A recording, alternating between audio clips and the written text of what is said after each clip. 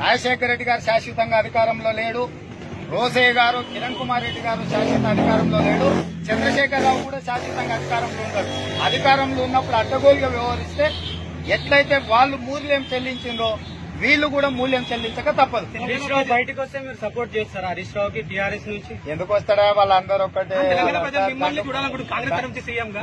దండుపాలెం మూట వాళ్ళందరూ ఒకటే. ఓడు కన్నాలు వేస్తాడు ఓడు పలగొడతాడు ఓడు అల్మారి తీస్తాడు ఓడు మోసుకొస్తాడు.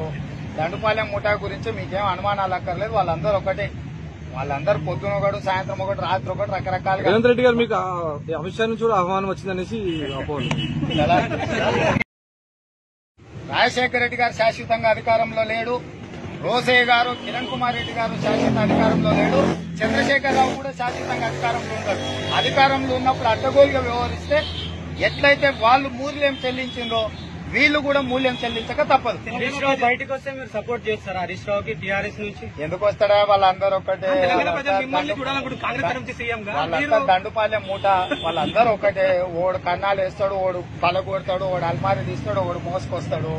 దండుపాలెం మూట గురించి మీకేం అనుమానాలు అక్కర్లేదు వాళ్ళందరూ ఒకటే వాళ్ళందరూ పొద్దున ఒకటి సాయంత్రం ఒకటి రాత్రి ఒకటి రకరకాలుగా రేవంత్ రెడ్డి గారు మీకు ఆ అమిత్ షా నుంచి కూడా ఆహ్వానం వచ్చిందనేసి?